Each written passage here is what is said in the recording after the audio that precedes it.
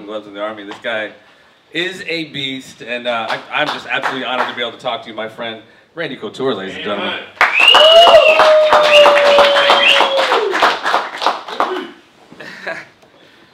Chris Maltzberger. You're welcome. Gotta love me some Chris. All right, so the first question, ladies and gentlemen, is brought to you by Simon Black, the gentleman we just saw. Randy, I mean, you you have done a little bit of everything in the business, and my, my questions are gonna kind of cross a little bit of the variety of time spectrum, etc. I am gonna ask you about some recent news and your thoughts on it. Chuck Tito 3. Yeah. Should it happen? I mean, is this, is this, is, is, are they, is this one of those things that we've seen that just, some fighters who just stay in too long? I worry about Chuck because a lot of his last fights were knockouts. I, I worry about Chuck as well. Um, but obviously, uh, if the desire is still there for him to compete, we know that there's a long-standing rivalry.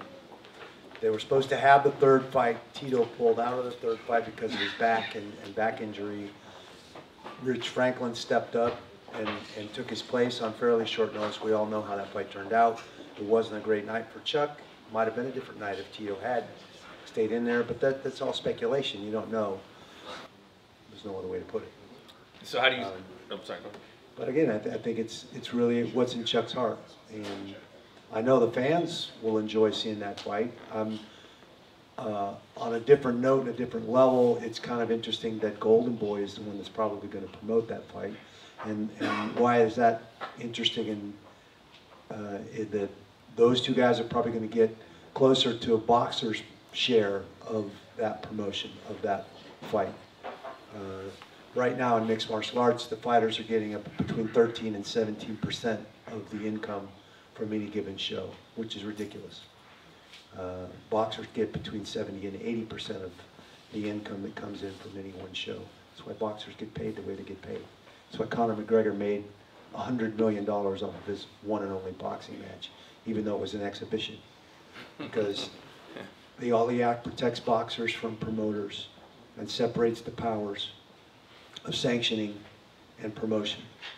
In MMA, the one one and same guy is, is the sanctioning body and the promoter, and that's a flaw in our sport, and that's the difference. And so what Tito and Chuck are doing is, again, like Conor McGregor, shining a light on that flaw.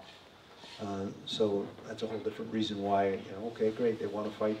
They're both, you know, Tito's not exactly a spring chicken. He's had a, a couple of surgeries both in his back and his neck. Uh, you know, hopefully they, neither one of them need walkers to, to get to the cage. And, and that's funny because like that that's funny because that's what uh, that's what Tito said when, when I fought Tito was that uh, he came out on Best Damn Sports Show with a walker. So, uh, uh right? Yeah, that was. He had it coming. That was absolutely hilarious. So, who do you? I mean, what, how do you see that? How do you see that playing out? I mean, it's you know, it's it's really tough. Uh, I honestly can see Tito twice, knocking him out. We, we saw twice that, that uh, you know, Chuck was in his prime when he fought Tito both the other times. He has that unique ability to find that range and use those long levers to land that shot. And uh, I, I don't know if we'll see that same Chuck. How long has he been out now? Six six years? It's been a minute. Yeah. Um, Tito's been active. Tito fought last year. So that leads me to think that you know, if I was a betting man, uh, probably in Tito's favor right now. But you can take him, Randy. You can take him off. No. You can take him off. Yes, you can. So I mean, you, you stick with acting. Yes, Cut. Yeah. I don't like that take. Let's do it again. So you kind of teased a couple of, of, different subjects I want to touch on, and this next question is brought to you by the Superhero Collective. Um, as far as the the the Ali Act and um, the rankings anymore. You see back in the, in the, in the day, Chael Sonnen losing to Anderson Silva only to talk his way into a light heavyweight fight with Jon Jones. I, I, I honestly kind of call it the Conor McGregor effect now because yep. it's just creating this these super fights. You know, Tyron Woodley beats Robbie Lawler and he immediately calls out super fights. Like, what do you think about the, the lack of implementation of the Ali Act and the, the rankings and almost the belts almost are not meaningless. Our, our sport is anti-competitive. Um, if you want to be ranked in the UFC and you want to fight for a UFC title, you're going to have to sign a very, very restrictive, exclusive contract that's gonna limit your abilities, that's gonna sign away your ancillary rights to the company. That's your name and likeness in a whole bunch of categories. You couldn't make your own action figure, you couldn't write your own book. I don't think you could even do a movie. It's the very similar to the model that the WWE uses. Those guys have to get permission to do that stuff mm-hmm. because they've signed away their ancillary rights in that contract. Mm-hmm. It's not based on merit. That they- they're going to manipulate the rankings however they want, make the fights that they think the fans want to see. That they're going to make them a boatload of money, and it has nothing to do with the merit of the fighters. And uh, that's, in my opinion, that's not competitive, and that's not a sport. Do do you feel there's any place in it? I mean, you're good friends with Dan Henderson. When he got that fight to fight Michael Bisping, I was on the fence because that really jumped, that really usurped the whole ranking system. But I would have loved That's to have one seen example. Dan. That's one example of you know you mentioned Conor McGregor, you mentioned Chael Sonnen. There's there's been many many many examples where why, why did the number six ranked guy get the shot at the title? Why did the number four rank? You know, unless two and three opted out and said you know said they weren't wouldn't do it, then that, that just shouldn't happen. It should be based on merit and and fighting. I don't care if you don't like Jon Fitch's style or, or you know, you think he's boring, he's still winning fights, and he should get the nod because he's winning fights. And as far as, I mean, you obviously have had a, a bit of a tenuous relationship with the UFC. I mean, you've seen the sport grow and change and evolve. And of course, this question, next question is brought to you by Enlisted Nine Fight Company.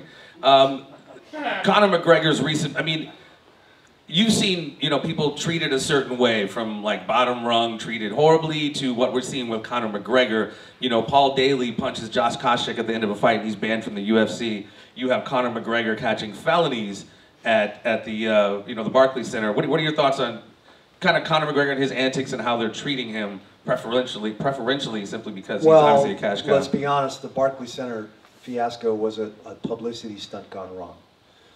Uh, Conor McGregor was supposed to show up at the presser.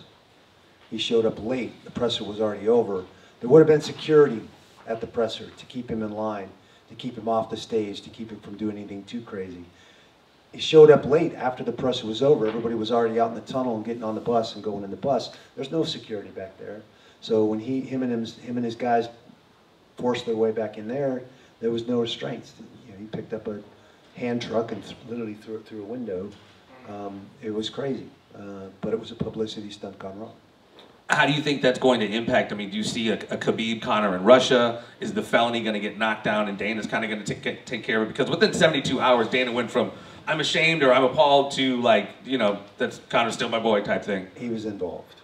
Dana? I, he, he, he knew he knew what was going on. He, And see, I was thinking that too. I mean, may trying not to do some known that he was going to bust into the tunnel and throw something through the bus, but he knew that Conor was showing up. And he knew that Conor was going to create a hoopla and, and do all, you know, it just got out of control. So, you know, So that, that, I guess that's another kind of question, which is brought to you by Iowa Bison, some fantastic bison. We all had some bison tacos here. I mean, that, that kind of... Uh, come on, ice cream. I was the bison tackle. Uh, They were good. Right. Um, geez, you made me lose my train of They were thought. spicy though. What, what was I saying? What the hell was I saying? Guys? What's that? uh, The so- question by Bison was. Yes. Yeah, I, I just completely lost my train of thought. I forgot exactly what that question was. I'm looking at my thing. Your, your, your. I'll get back to it. Believe me. Your, your toughest fight throughout the UFC. I mean, you've you've been around for a very long time. Who would you consider to be some of your your tougher competitors? Well, they were all tough, and each and every guy you face uh, is tough, is good at what they do. It, it's problem solving at its finest. They all pose a specific set of problems, and you've got to hopefully train and, and find the right the right combination to solve those problems. And for that, I think you have to respect your opponents. I was never the guy that was going to talk shit. That guy made me do things, maybe train hard, maybe maybe learn things that I wouldn't have otherwise learned. And for that, I have to respect him. And I was never one to talk shit because, okay, I'm going to run this guy down and say he's terrible and all these other things. And now there's a chance I go out in that fight and I lose. Where does that leave me? I just ran this guy down for the last 10 weeks and said all kinds of crazy stuff about him. And then I've gone out there and he, and he bested me on that night. It puts a, a bunch of undue pressure on you. Uh, and, and it just, it, you- you're risking making yourself look pretty silly. You walk out on that limb, somebody's going to cut it off behind you, and it's a long fall.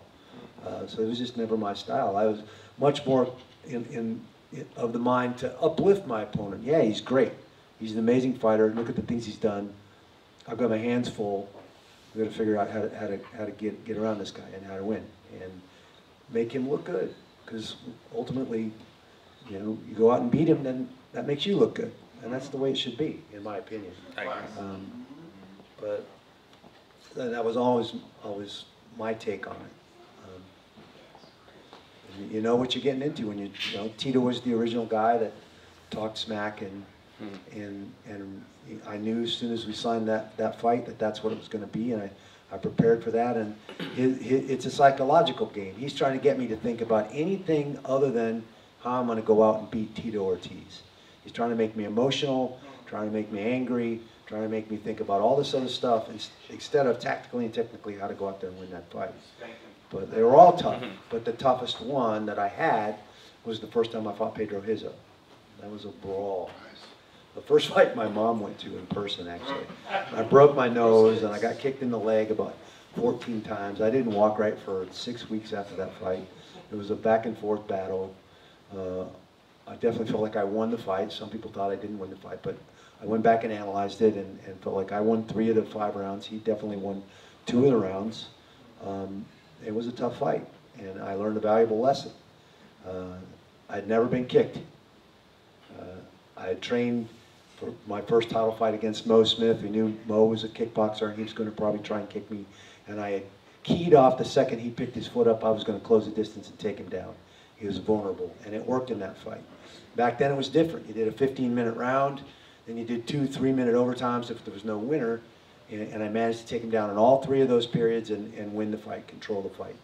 Uh, and obviously they changed the format. They went to a five-minute round, 10-point plus scoring. It, you know, you're giving a guy, especially a guy that's a good striker, a chance to start at least every round in a neutral position, and that makes him more dangerous. It makes it more exciting too. I like it, but. Uh, a guy like Pedro, who's all hips and legs, a great kickboxer. Um, you know, he, he was tough. He was a, he was the first guy that ever kicked me, and uh, I, I knew I had to learn. I didn't want to experience that ever again. I had to go out and figure out. I was fortunate enough to win the decision, but they forced me into an automatic rematch to renew renew my contract. This is when Dana and company first bought the UFC, the brand and they had just signed Pedro to a nine-fight deal. It was the biggest deal anybody had ever signed with the new company. And they were sure this young Brazilian was going to beat my old ass, bring in the Brazilian fans and the Brazilian crowd, and, and that's why they signed him to an extended deal. And then obviously it didn't go that way. And I've been throwing monkey wrenches in their in their plans almost from the start, uh, which is one of the reasons why they, they didn't they didn't particularly like me. And I think they were always trying to find a way to get rid of me and I was I was kind of like the plague. They just couldn't get rid of me. But, but that was definitely the toughest fight I was ever in. Very nice, very nice. Um, this next question is brought to you by NH Firearms, Mr. Michael White and the crew. Um, it, you've seen obviously the sport evolve, you know, from the very beginning to right now. Do you have what they call the goat, or do you, do you have a greatest of all time, or do you see anybody right now that like really impresses you that you see really? There's a bunch of guys out there that are very impressive, and and this what I call the third generation of fighters is they're amazing. I mean, they don't care about belts and all this other stuff or backgrounds. They just want to be well-rounded, complete mixed martial artists, and they're doing some amazing things tactically and technically, athletically. The science of athletics just continues to grow. We get continue to train smarter and get better. So these athletes are, are doing a great job. They're fun to watch. Uh, I'm a big fan of Michael Chandler and watching him fight Bellator. I just think his gas tank and, and the, the ferocity that he brings to his fights is fun. It's just really fun to watch. Uh, uh, his teammate from Missouri, uh, Tyron Woodley, about as athletic and explosive a guy as I've seen, and I don't think he gets the credit that he deserves. Um, but there's, you know, there, there are a ton of great fighters out there right now. Do, do you see? I mean, I mean, people, at one point in time it was Fedor, and now cats like Joe Rogan will say like uh, like Jon Jones, it was somebody, or you know, at one point in time it was Anderson Silva. Do you see a kind of, in your opinion, you know, like not necessarily a Mount Rushmore, but you like one of the greatest? I, I think the greatest of all time has, to, yourself, be more, has to be more than just what, he- what they did in the cage. And that's why I think, as talented as John is, he's just not been able to get out of his own way and stay out of trouble. And uh, I'm sorry, but that, in my opinion, it, it tarnishes his, his legacy as, as one of the most talented or greatest fighters. Uh, So I think it takes it, him out of the discussion, in my opinion. I think Dan Henderson is certainly up there, and one of the only guys that's, you know, won two divisions in Pride, and, and was an- obviously a, a very close friend, but a great guy, and I loved watching him fight as well. Uh, Chuck, certainly. Uh, you could make a case for Tito. Uh, you know, as one of one of the greatest fighters. I think Frank Shamrock was an amazing fighter, and, and because of his uh, you know disagreements with Dana, you know he's he's never been put in the Hall of Fame. I don't think he's gotten the recognition from this new generation of fans that we now have. They don't they don't remember him fighting. It wasn't as popular back then, but uh, he was a pretty amazing fighter. I mean, beat Jeremy Horn. Uh, you know, luckily that was a great fight. Beat Tito. Beat you know beat all the top guys for about four years there in in the division. So. Um, but there, you can make a case for a whole bunch of guys, and so much of that is opinion, uh, which is why it's always fun to talk about. Yeah, it's a very subjective conversation. Everyone has, their, has their own criteria. This next question brought to you by Greg Helfer, LTD Private Jeweler. Um, I mean, you spoke about Michael Chandler, and I'm a huge fan of his as well. You know, coming living from St. Louis, you know that I mean, he's, he's an absolute beast, like you said. Bellator. What are your thoughts on Bellator and the growth of Bellator? You know, this heavyweight kind of Grand Prix they got going on. It's you know Michael Michael uh, Michael Page is absolutely amazing. Yeah. What, what are your What are your thoughts on uh, on Bellator? Uh, well, I'm, I'm, I've always liked Scott Coker. My son Ryan fought for Scott back when, when uh, they were Strikeforce before the UFC bought them out. And uh, uh, Scott's just one of those guys. He's a, he's a lifelong martial artist. He's been doing it. He has a huge respect for the fighters. He's one of those guys. You shake his hand and he tells you what, what's going, what he's going to do, and that's what he's going to do. He doesn't need a contract. But obviously nowadays contracts are important. But uh, I just have a lot of uh, trust in him, and, and I think he has a clear vision. He's doing a lot of these retro fights, you know, the, the Chuck Tito type fights, the Rampage, the Chael Sonnen, and the Wanderlei Silva fight, those type of fights that all the fans remember from the heyday and want, and kind of, they're nostalgic. People want to see that sort of thing. I think Dana's and the UFC's antics have opened up this free agency where fighters are taking their option. They're not renewing their contracts. They're tired of wearing a uniform and putting up with a lot of the crap. So when they become a free agent, they're, they're going to, to Bellator, and Bellator's reaping the benefits of that. Um, so I think they're doing a great job. They have a very, very strong brand. Viacom obviously has very deep pockets. They're not going anywhere. They're creating their own content for Paramount, for the network. Uh, it, it's really a pretty good deal, and it gives us one more viable outlet as fighters to, to continue to make a living. Now, they're still using the same flawed model. The, obviously, the UFC is the biggest promotion, the richest promotion in the sport, but you know, PFL, Bellator, all the other promotions are still using that same flawed model. They're still creating their own rankings. Now they're doing a better job of staying true to the merit of those rankings and using that merit uh, most of the time uh, to determine who gets the nod, who gets a title fight. But they're, they're, they're playing the game a little bit too. They want to make things exciting and, uh, you know, I think that the Grand Prix has been pretty fun. I like the progressive tournament. You get to see a guy compete and then whether he wins or loses, you get, you know, you, there's a lot of, a lot of anticipation as guys pro- progress down the line. So I think that's fun. Any thoughts on who, who wins that, that tournament, that Bellator heavyweight? Man. I, I, that's what's interesting about it.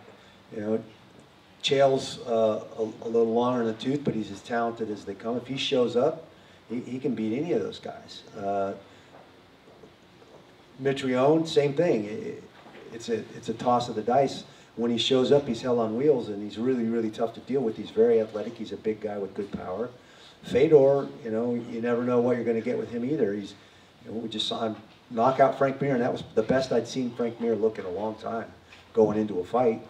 Um, you, you just don't know what you're going to get. So, uh, you know, and, and we've you know seen a 185 pounder like Henderson knock him out too. So, you just don't know. Uh, and in some ways, that that unpredictability is what I've always loved about MMA, and why that why those those fights are, are intriguing. They're interesting. Um, I, I just lost the, the fourth kid's name for some reason. I think I got hit in the head for a living. King Ball? Or no, he's King Bader. Ball. Bader, that's it. Oh, yeah. Bader. And Bader's on fire right now too, and, and probably of all four guys, Bader's probably the youngest, the freshest. The, the you know, him and Chael aren't bona fide heavyweights, but they they look fine at heavyweight. Uh, They're, they're kind of like me, a small heavyweight, but sometimes that can be an advantage.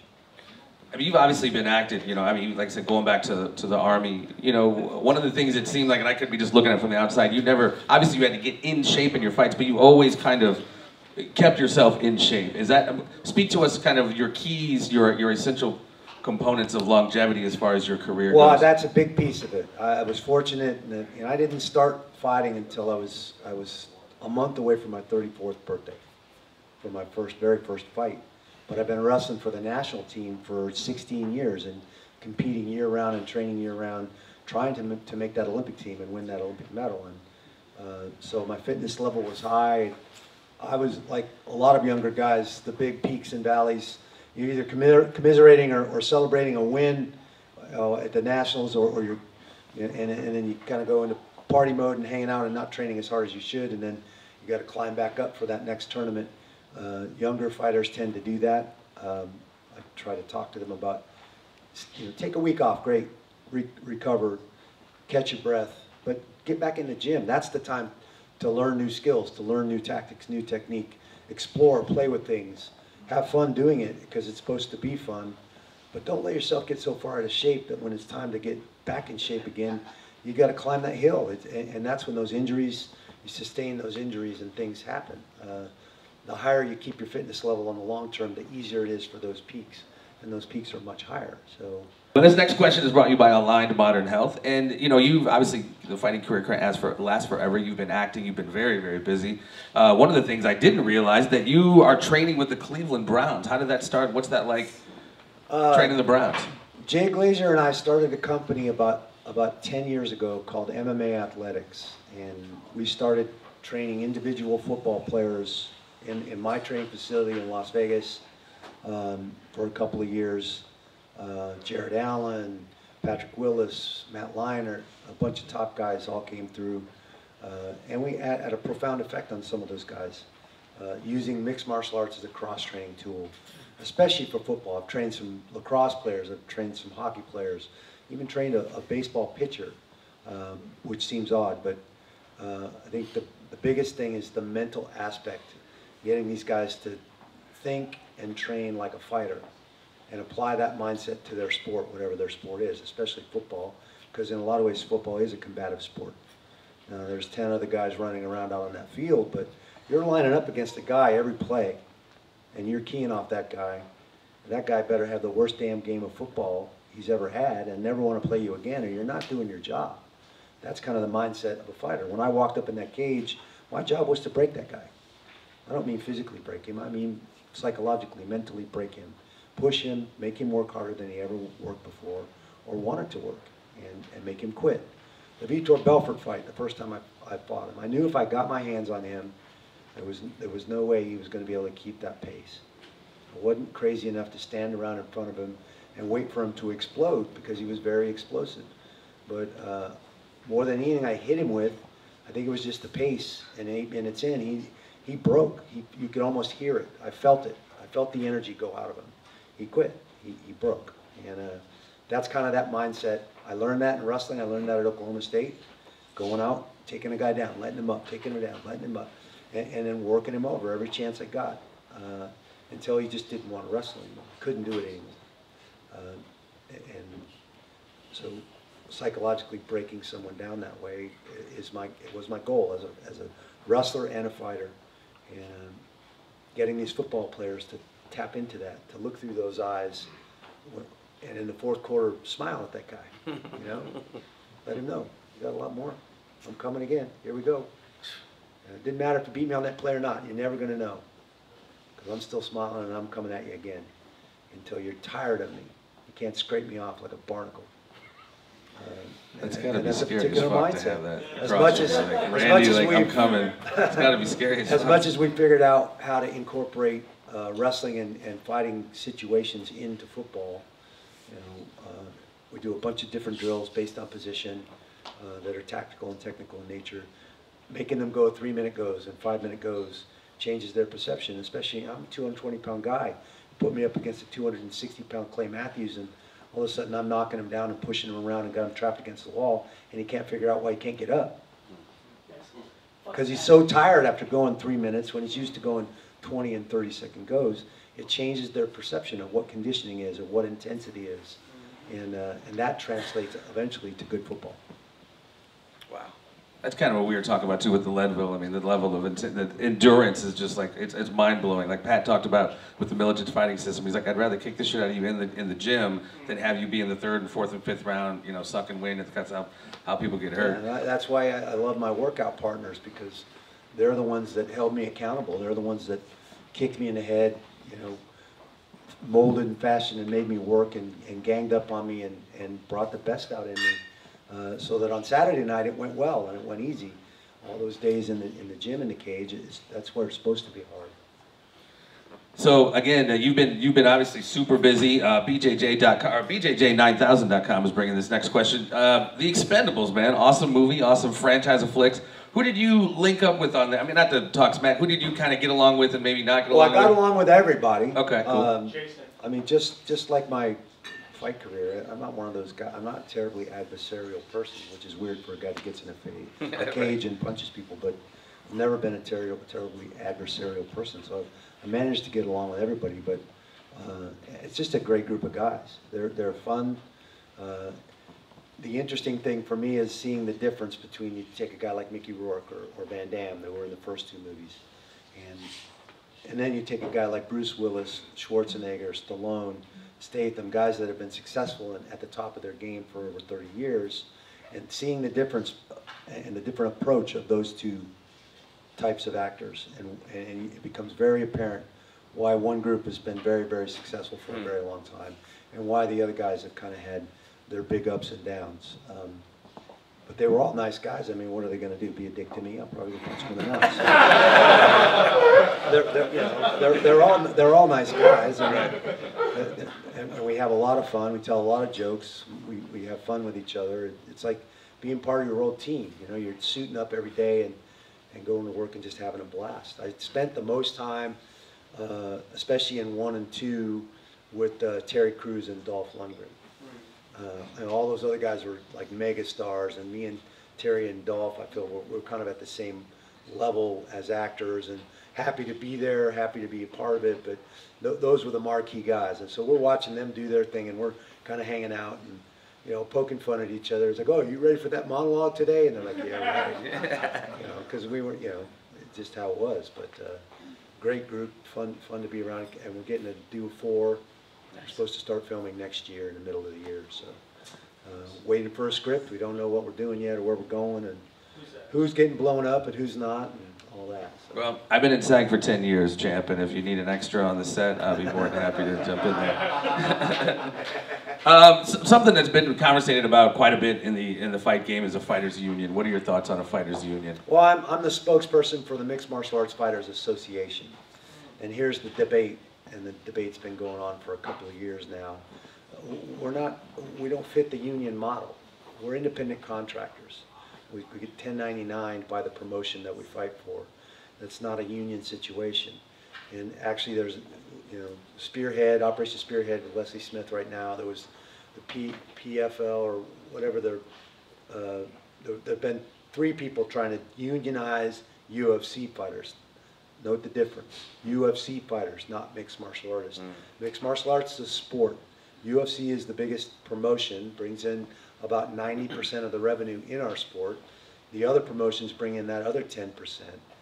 If they get a union of UFC fighters and get recognized for a collective bargaining agreement, that helps fighters that have signed contracts with the UFC uh, and solidifies the UFC's position and monopoly in this space. That doesn't help the other fighters that are fighting in the sport and all the other promotions. So it's short-sighted and it's a bit selfish, in my opinion. We, we, we need, we are, there's very small delineation between a player or fighters association and a union. Uh, you can look up the definitions. It's a lot of minutia and, and very small differences, but there is a difference. And I don't think we want to be a union. I don't want to be an employee of the UFC or any other promotion. I would, I would like to come together as fighters, create an association, use that leverage as a group of fighters to, to get the minimum guarantees and, and some better treatment, some 401k, some health insurance. Uh, I think the model that closely resembles what we do is SAG, Screen Actors Guild. having being a SAG member and getting my health insurance through SAG, uh, paying my dues, doing doing all the things that I do in SAG. I see that model as as one we can emulate. There are all kinds of studios out there making films. They hire people from the Screen Actors Guild. There's all kinds of promotions out there putting on fights. They can hire fighters from from the Mixed Martial Arts Fighters Association. It's a very similar model, and I think that's the model that fits best for, for what we need. Very interesting. Something, um, this was like kind of an audience question or a question from Chris actually. If you were to do like a tag team scenario in the cage, who would you want to be your tag team partner? Um, boy, I think it would be fun to, to be tag team partners with Hendo. I was thinking. Uh, we trained together forever. We started the sport at the same time, and we used to beat the dog snot out of each other on a daily basis. He was the first guy to ever knock me on my ass. Was Dan, and uh, I uh, hit him and, and knocked out his front teeth. He still holds that against me. I don't know why. That's a good choice. Dan's a monster. Uh, one last question. I'm going to open it up to the to you guys for any Q and A kind of thing. Um, your foundation. Talk to us a little bit about the founda- foundation that you have. Uh, I've been running the Xtreme Couture GI Foundation for 10 years. Obviously, uh, most of you know that I, I wore the uniform from 1982 to 1988, the United States Army. Um, now, 30, 30 years later, uh, after being a professional fighter for 14 years, I've gotten a chance to give back to those guys, especially since 9/11, that are making significant sacrifices for us and our way of life. And uh, I went to Iraq in 06, spent 12 days on the ground there with Rich Franklin, visiting the guys at, at five different fobs and seeing the way they were living and their jobs and what they were doing and hanging out in the gym. Actually, two of the fobs actually had mats. We got to roll the mats out and wrestle with the guys. It was a blast. It was it was a really interesting trip. Uh, and then a year later in, in 07, and I got to go out to uh, Walter Reed and Bethesda in D.C. Uh, uh, the Fisher House is there. They take care of a lot of the caregivers, moms and wives that come down and their, their husbands or loved ones are going through surgeries and getting fitted for prosthetics. And so we did a big barbecue at the Fisher House. Me, Don Frye, uh, Ken Shamrock were, were all there, and, and uh, we got to go through the wards and meet a bunch of the guys fresh off the battlefield, uh, you know, wounded. The crazy stories of the financial burden and the financial holes that these guys were were in that was adding just adding stress to their lives and adding issues to them. I decided at that point I wanted to create a, a foundation, a 501c3, to raise some money and some awareness, but some money to uh, help take off some of that financial burden for those guys that are in the hospital and in transition. So we started the Xtreme Couture GI Foundation. We're coming off the best year that we've had in the 10 years I've been running the foundation. Uh, we got to sit down in January. I go out every January to the hospital. The staff at the hospital helps me identify families that are struggling the most. And um, I raised $160,000 last year. I got to sit down with 16 families and write a $10,000 check to each one of those families. And so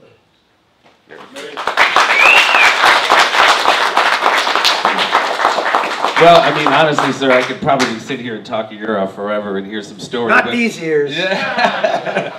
It has been an absolute pleasure, and I want to open it up. Actually, I'm, I'm going to pass the mic because the sound is going into the camera. Anybody got questions for the champ?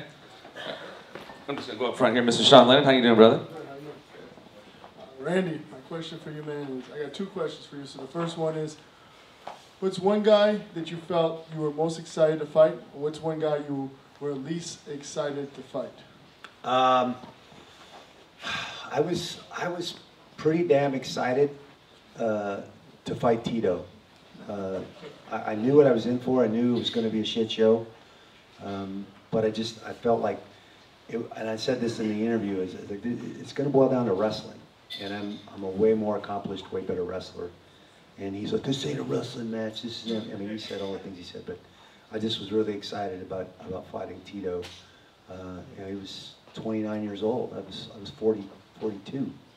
Uh, it was just one of those matchups. That, and, and the guy I had the most trepidation about fighting and, and just kind of had to literally make friends with the potential outcome was Chuck, the fight right before that. I watched all the footage. I'm like, this some bitch just he just knocks people out. And uh, and I'm like, oh well, all right, if that's what happens, that will happen. But I'm I'm not gonna. I watched everybody else kind of stand around. They were a little intimidated to kind of engage with him, and that allowed him to find that range, to, to stand there and plant his feet and almost dare you to, to come in. And, uh, and I'm like, you know what, the hell with that. If he's able to knock me out, he's able to knock me out. But I'm, I'm hitting that some bitch. And so I practiced that over, you know, head fake, make him think I was going to shoot, and, and come with that overhand right, and and that, that kept him off balance in, in that first fight. And he noticed the difference in the first versus the second and third fights. He made a big change in, in his his tactics. He started moving his feet way more. He didn't just plant his feet, and kind of stand there and try and time you. Uh, he moved his feet, made it way harder to close the distance and get to him in the second and third fight. More difficult for me to, to fight him the second and third time, obviously. But that's the only time I've ever been knocked out, was Chuck, the second fight. And that was one of the few times I, I kind of got pissed off in a fight. Uh, I'd watched and heard guys complaining that he was poking them in the eyes. Tito had complained, oh, he poked me in the eye. Vernon White, oh, he poked me in the eye. He keeps his thumb out when he throws his, his punch, and, and he poked me in the eye. I, I literally watched it on tape. And then I was just coming off the Ricco Rodriguez fracture in my eye, and I ended up getting poked in the eye in, in the second round.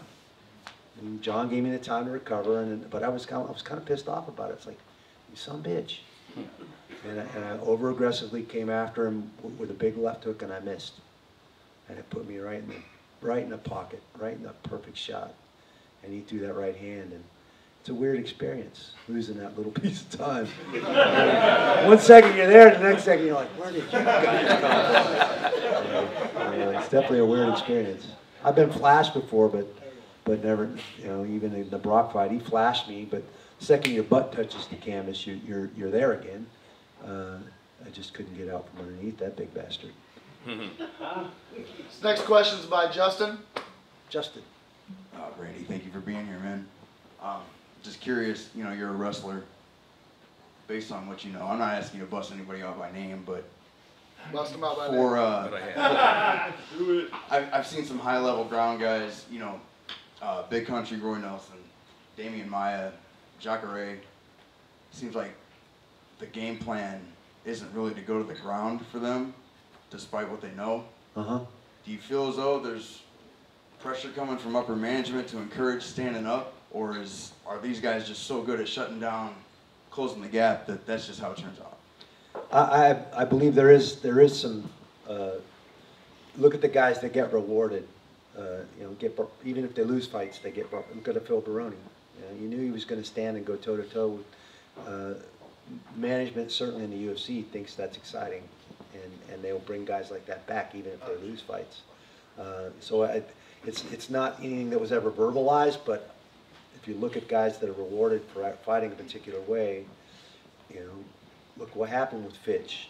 Uh, why did, uh, and, and again, the other kid from Missouri that's never even gotten a, he fights in one FC because Dana would never even give him a chance because he doesn't like his style because they're Ben more Askren. gra- Ben Askren, that's who I'm thinking of.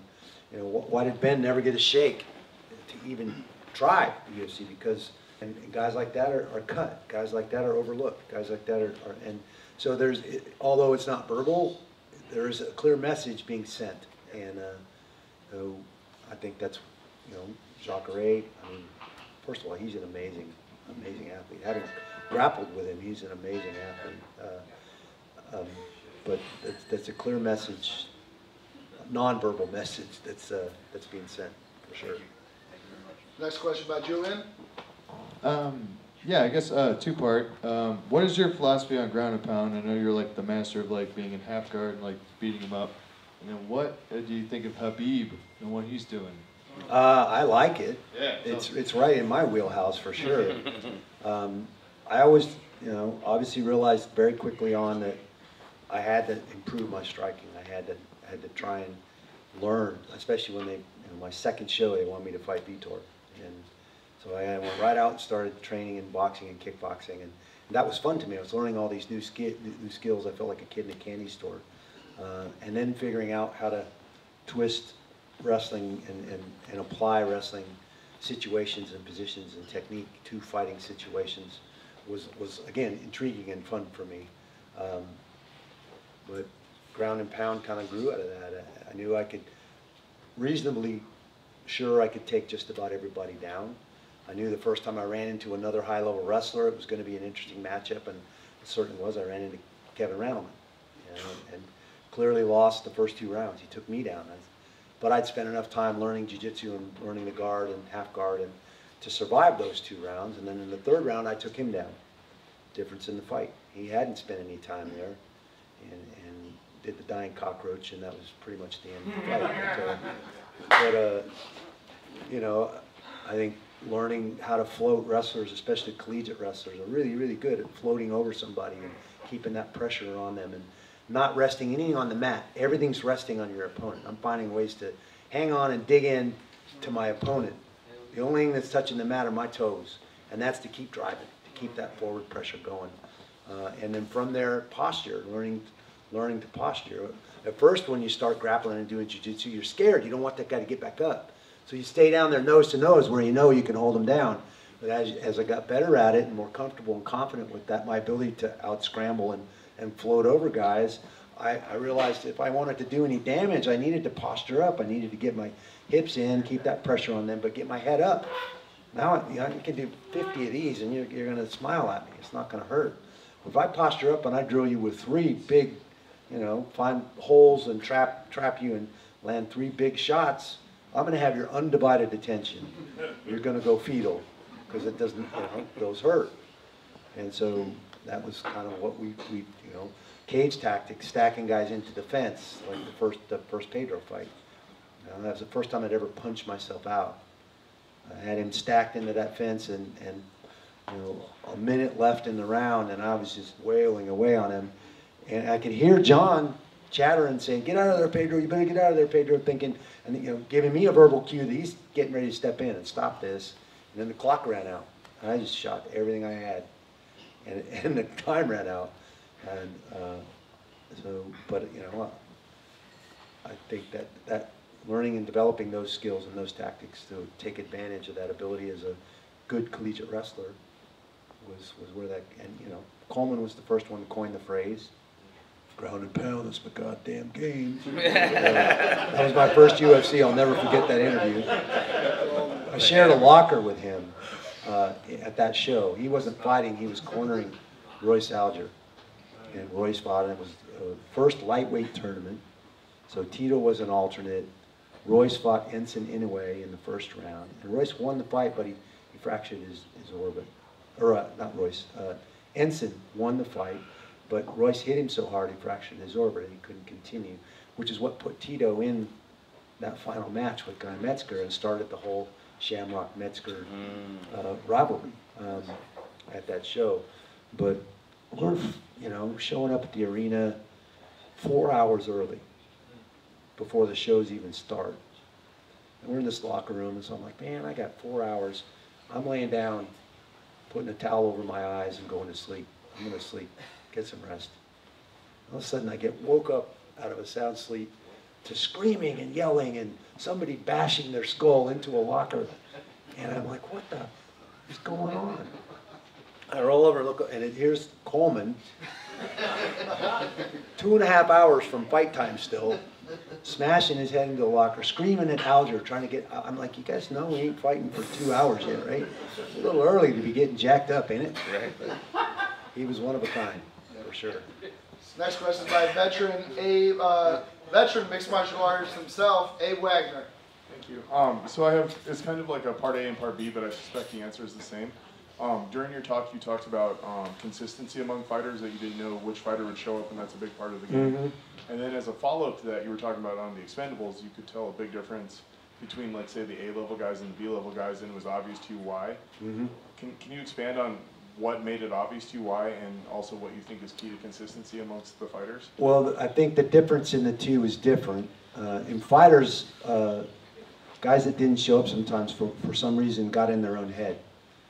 Uh, I think psychologically somehow they, they let down. We, we already know they have the physical gifts. We've seen them use them when they've showed up. So what got in the way, something got in the way. They, they were doubting themselves or, or saw something uh, that caused them to question their ability in, in that matchup and they, and they didn't show up uh, with the fighters. Um, and, and that would be interesting, you know, not, not getting a chance, well, I have gotten a chance to work with Chael, and, and sometimes Chael doesn't show up. Sometimes he looks like an absolute world beater and, and beat anybody in the sport, and other times he just doesn't show up. And I, and I know it's it's in in his own in his own mind. You talked about those voices. I, I, it's for me, it's one voice. There's a voice in there. I call him my crazy roommate because he says all kinds of crazy shit that no one would ever say to you to your face anyway. But learning that, that you control that crazy roommate, that crazy roommate doesn't control you. Um, giving it the affirmative, positive things to say, especially when the pressure's on. It's a mental skill, and you have to practice that, to train that. And the more I train it, the easier it becomes. When I first started learning to control that voice, it was through wrestling and working with a sports psychologist from the national team in wrestling. And uh, I had to write down those affirmations and those positive things I wanted to give that voice to say and reiterate them all the time verbally and put them in, in my locker and in my bag and in my mirror by my toothbrush and say them all the time. And pretty soon they become, and, you know, I don't need the cards anymore at some point. And I can hear when that voice, we all have that voice. You can step behind that voice now and just let it, let it chatter. You have that ability to step behind that. He can sit up there and says all kinds of things and, and, I have to choose, I get to choose whether I want to engage in that or let him say what he's gonna say, it doesn't matter. Or I can say, stop, and give him those positive things to say that, that keep me on task and keep me in the zone. Um, That's the difference for fighters. For the actors that I was talking about, it- it's a difference in, in lifestyle. Um, that how serious they are about it, that they treat it like a profession, or, you know, they caught up in the media and, and the hoopla and, and that celebrity thing, uh, that was the biggest difference. Uh, those guys that had those big ups and ups and downs were all about that, being that celebrity and and getting caught up and more interested in making the money and, and impressing the girls and, and going out and, and doing all that other stuff. Where Sly and, and those guys that have, they're, they're just consummate professionals. They're smart, they know their audience, they know what their strengths are, and they are going to operate and play in that in that wheelhouse all day long, and do it well. They take it, they treat it like a job, like it, it, it's a profession, and uh, that's the biggest difference that I saw between those two groups. Thank you. You bet. Mike Soto? Mr. Couture, uh, being a two-division champion, uh, what do you think of Daniel Cormier's chances against Stipe Miocic? I like Daniel's chances. Uh, I'm a big fan of Steve. I think Cowboys. Steve's got a great fight IQ. Obviously, Daniel and I share the Cowboys. He, he was a little after me, but I've gotten the chance to have Daniel in the gym at Xtreme Couture in Vegas and uh, talking about fitting those wrestling techniques and tactics into fight situations. He's as good as anybody I've been around. He's amazing. If Daniel has a knock, it's that he's not always as diligent as he should be. Uh, he doesn't. He doesn't work as hard. I mean, that's a reason why it's easier for him to be a heavyweight. Doesn't Right. have to work as hard. Doesn't have to cut the weight. Doesn't have to. So that's you know uh, that, that can be a bit of an issue and a, and a bit of an Achilles heel for him. Uh, but he's he's perfectly capable of competing at heavyweight. We've seen it already. So that'll be an interesting fight. Um, I, I like Daniel's chances on that, but he's got his hands full with Steve for sure. Next question is, oh, well, Chris, Chris Flores. I uh, didn't really have a. too If much any- if anybody I'm trying to make sure this thing's work. This thing works, but uh, really quickly, I guess those, I hope this is a quick answer for you. But where's the best barber shop you've ever been? Yeah. Shameless promotion right there. shameless, shameless for Yeah, sure. well, but, uh, let's just, let's, let's give everybody a round of, a round of applause for this facility. This place is awesome. And what they do on a regular basis, from making the suits to, to, to shaving guys, I mean, even, even slicked up my eyebrows, man. The whole I- thing, I- man. I feel- I feel like the Flash in there. No wind resistance at all going on up in here, so. Uh, did we also take you out to party last night a little bit? Uh, yeah, we did that. Uh, we wound up at Maple and Ash in the wine cellar, doing shots of tequila in a wine cellar. What the hell's wrong with this picture? Uh, but yeah, it was, it was- it's been a great trip. Thank you guys very much for reaching out to me. It's been a You're lot of fun man. and happy to be here in Chicago and, and this is a very unique experience. So thank you guys. thanks to all you guys. The, the gun, the gun is absolutely amazing. The the suits, I mean, they, they don't get much better. And you know, the necklace, uh, your sponsors are fantastic and very generous. Yeah, if anybody would like to see any of the jewelry, Really, really obviously go see Michael Hel- Helfer over there. He's got jewelry set up. Mike, you got a question? This next question is going to be by my partner in crime and the one who owns this facility, Mike Bernson. Appreciate. Thank you. I really don't have a question. That's all right. Oh, okay, on, we- I had to step out for a minute, so did we talk about Brock Lesnar at all tonight yet? No, I sure didn't. Haven't? Brock didn't come up yet. It had to be for the money, dude. That guy is ridiculous. He, he has 70 pounds on you. 70 beats. But you were kicking his ass for a while. No, I felt like I was I was a half a round away from from I think so. swinging it swinging it my way. Uh, I was doing everything I trained to do. What, what made you Uh, take that fight? Why not? Why wouldn't I take that fight? I love it. All right. Yeah. Yes. I got to work on my mentality. I got to work on my mental game. Why wouldn't I? My strategy was to make him wrestle me as much as possible, which is what I did in the first round. Uh, it wasn't to stand around and, and try and trade blows with a guy that size. Uh, the thing that you know, I didn't realize uh, in analyzing him is how long he is. He looks so thick. You don't think he's that long, but he's got a crazy reach, and that's ultimately what, what caught me. Is I rolled from that punch, but it just kept coming, and, and this- it hit me right behind the ear, flashed me, knocked me on my butt. The second I hit the ground, I was awake and started trying to scramble to get out from underneath him, but it just he came down on top of me, and I just I didn't get out of there. So. Re- wrestling him, is he as strong as everybody, like freakishly strong as they say is? he's he's a big guy. Uh, he didn't feel freakishly strong. I mean, he's a 290 pound man. Yeah. It's it's how quickly and athletically a guy that size moves. So when you when you move that kind of weight like that, it makes it, it's it's weird. It's different. So it's hard to find partners to simulate and emulate him in a training environment. Find guys that big, but no guys that move that way. So that was that was a challenge. Yeah. That's One question. Mario. For being a 250 and wanting to get back into some of that sort, uh, uh, UFC, MMA, MMA, boxing, hey, coming back at 45, what's my odds? Odds, I mean, I, it's, numbers are just numbers. Do the work. Why are you doing it? Thank you. If you're doing it for a paycheck, you're doing it for the wrong reason. Do it because you love it, do it because you have a passion and it's what you want to do and it's the lifestyle you want to lead, then, then get after it. I fought till I was forty-eight. You can't, I mean. there's- George Foreman won the heavyweight title when he was 40 something. It doesn't, tho- those, those are, no, and people are gonna tell you you're crazy. Uh, My mom certainly looked at me crazy a couple times, but, uh, my you know. There's no, there are no years. rules. You got a heart in that chest, you got a, a physical body that, that, you know, get after it. Get after it. Next question's by owner and operator of NH Firearms and also military veteran Michael White. Like, White!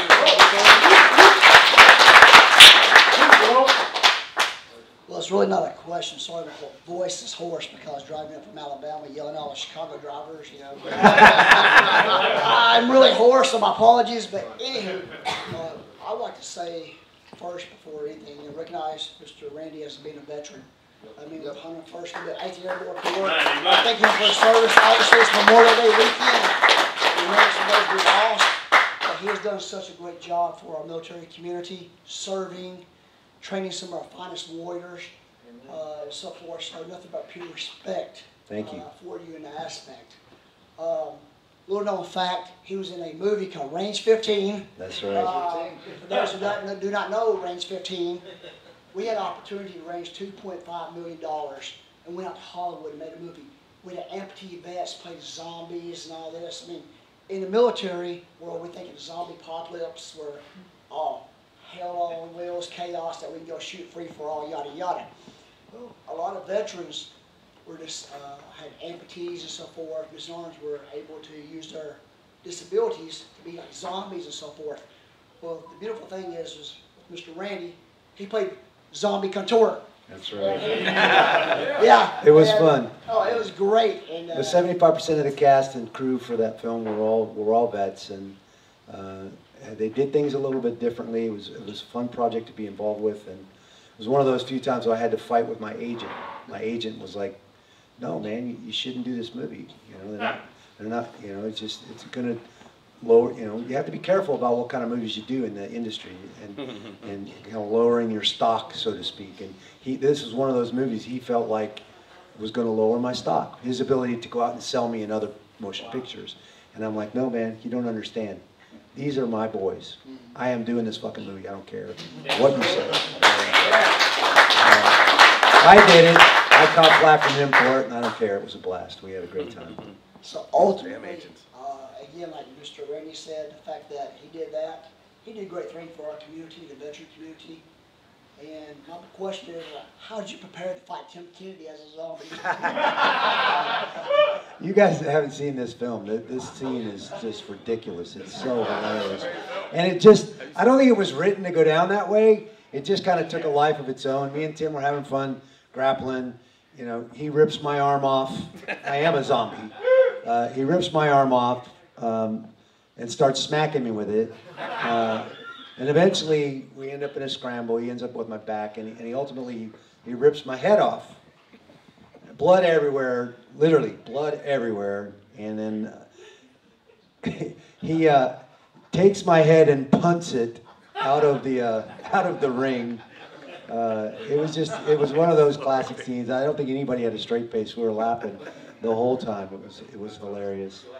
Uh, one of the funniest parts was when we first started filming it. He was supposed to like rip his his sweatpants off, and he had on like a jock with a with a with a merkin on it, a, a, a fur merkin. Well, when he rips the sweats off, the merkin comes off too. So he's basically standing there, buck naked, and he wants to just keep going. I'm like, no, dude, no. You gotta, you gotta put something on. That ain't, that ain't gonna fly. But it, it was pretty hilarious. Next question is by Eric in the back. You started late. What pushed you? What drove you? Like to Well, initially I, I got into the sport because it was intriguing. I saw the application of years of wrestling uh, and an opportunity to be a, a professional athlete. I think being a professional athlete is is a huge honor in, in our society. So getting a chance to, to be a professional athlete was I thought was pretty cool. And it was an intriguing sport.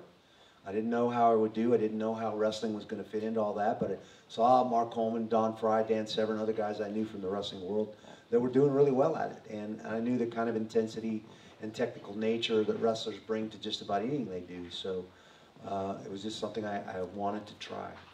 And then you know, after that first tournament, it just it took on a life of its own. By by my fourth fight, I'm fighting for a world championship. I'm like, what the hell just happened? Uh, it just it just it just happened. So it was it was never an issue of motivation. It was always it, it was an extension of wrestling, and I've had a passion for wrestling since I was 10 years old. Also, Randy, I, I do agree with you uh, with Dana White, with Conway or uh, McGregor. He did know about it. So my question is, why doesn't he cater to Khabib, who's never lost a round? And in my opinion, and in my heart, Khabib could destroy Conor McGregor. So why doesn't Dana cater to this guy, to the Russian? Well, first of all, Conor McGregor's making him a whole boatload of money. Second of all, Khabib has that style that, that Dana's not keen on. Dana's a boxing guy. He came from that boxing world. Those guys that are willing to stand and strike, the guys that are willing to fight that way, even if it's not their strength, he, he rewards those guys more. And Khabib is definitely not that guy. Khabib's going to take you down and grind you. That's, he's got a very, very strong grinding style. And that's, that's not a style that Dana's very hot, he doesn't like. He's not very happy with it. Makes sense, man. Thank you. You. All right, guys. I think this is our last question. It's going back to Mike Burnson. And no question, um, I'm going to kind of close it out, but first I want to thank, give a huge thanks to my partner in this project and really the leader of this project, Mr. Chris Maltzberger, the network, call the network. He puts an immense amount of effort into these things, and it's a labor of love. So thank you, brother. Really appreciate it. Randy, yeah, I can't even express to you how much fun I've had with you and how fucking cool of a guy you are. Salt of the earth to the I can't even believe it. So, I've never met a cooler guy. I've been telling everybody, this is the fucking coolest guy I've ever met in my life. This is the coolest guy. Well, I'm much appreciated, thank you. You got it, brother. And Jeff, Yes. thank you, man. Absolutely. He, uh, if you guys don't know the Conspiracy Farm, or it's me speaking to you, Jeff's podcast. I don't know if you guys know Pat Miletich. Tell, uh, tell Pat we wish him well with his vaginitis. Yes. Yes. Did you hear that, sir? Vaginitis. hey, Randy, he was sleepy. But uh, thank you so much to all of our sponsors Iowa Bison, Align Modern Health, NH Firearms, Simon, who am I missing? Uh, BJJ9000.com, Align Modern Health, Greg Helfer, private jeweler. Yes. Superhero Collective, Enlisted Nine Fight Company, and NH Firearms. Also, folks, I do want to thank Randy. Thank you Yes. again, sir. Thank you again for coming in. Yeah. Round of. We're done with the Q&A, guys, but we're real quick before you guys